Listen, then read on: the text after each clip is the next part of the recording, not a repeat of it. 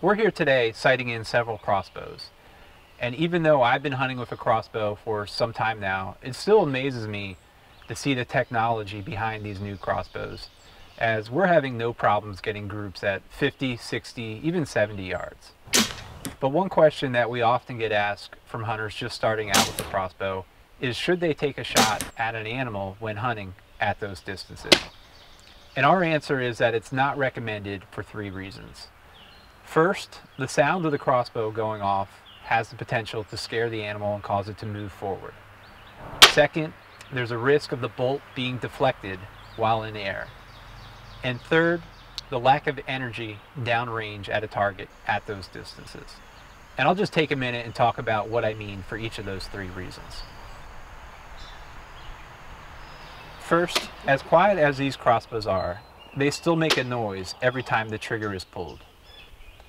And once a deer hears the noise from a crossbow being fired, its first instinct is to move.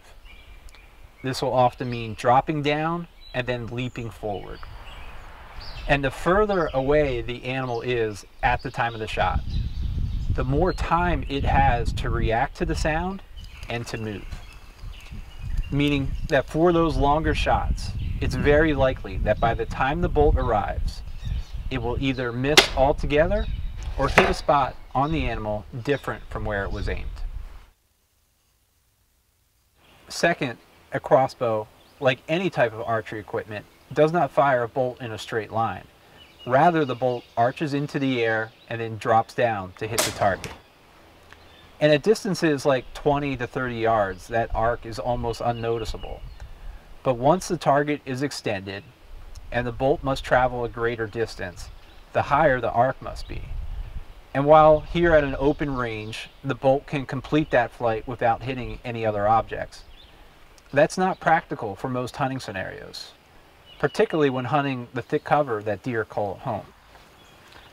Instead, what is likely to happen is the bolt will hit branches, leaves, or saplings, all of which have the potential to alter the shot. And third, at further distances, there's a decrease in the kinetic energy necessary for the bolt to completely pass through the animal.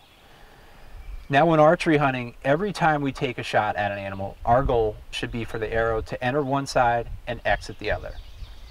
This creates two wounds for the animal to lose blood from, resulting not only in a fast and humane kill, but optimal conditions for tracking and recovering that animal. One of the worst things that can happen is for the bolt to enter one side but not exit the other.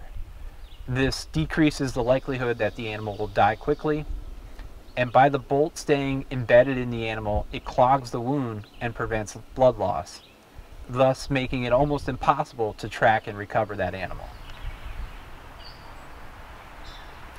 To demonstrate the decrease in energy at longer distances, here's the impact from a crossbow bolt shot at 20 yards, and here is a bolt shot at 75 yards. Notice the extent to which the bolt fired at the longer distance doesn't penetrate into the target nearly as far as the one fired at 20 yards.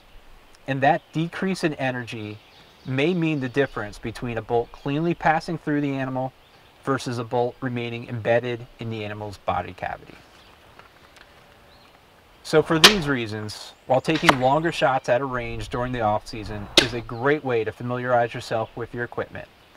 But when hunting season begins and you're faced with a decision on whether an animal is in range, it's best to plan on limiting those shots to those within 30 to 35 yards.